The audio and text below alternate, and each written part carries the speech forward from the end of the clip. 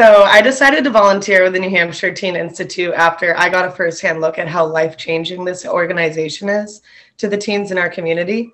When I was just 15 years old, I was a participant at their 2011 Summer Leadership Program.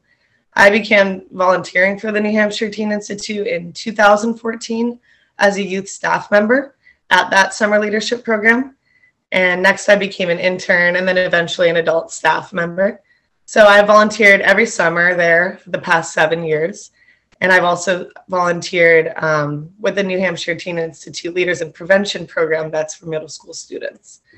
I feel really lucky to be a part of this amazing organization that changed my life and continues to change the lives of people that are a part of it. This program was a huge resource for me when I needed it the most, and I felt like my voice was heard for the first time. And I could also learn about the many diverse experiences of others in the community. And each year that I volunteer for the Teen Institute, I see teens participating and being impacted by these great things.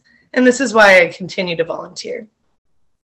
Uh, one of the things that came through was just how grounded and authentic Kat is, and you can't help but feel comfortable around Kat And it really does help to make the program more effective, but also easier for our teens to go through. Um, it's a it's a week long program, and sometimes we have we have um, participants who've never been at a week long program. So that kind of support and care really helps people to get through a program like that.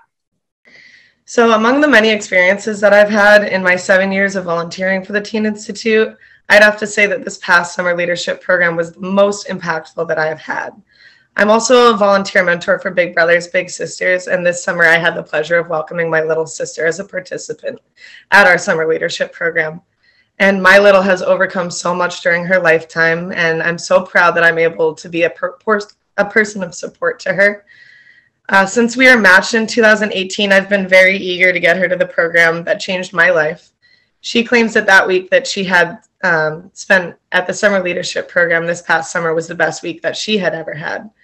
And my little learned so much about herself and the world around her that week. And I'll forever rem- remember her smiling, joyous face amongst our participants this summer. I was so happy to see that I could have her have an experience of a lifetime from the perspective that I had and it was an absolutely beautiful moment and it impacted me greatly.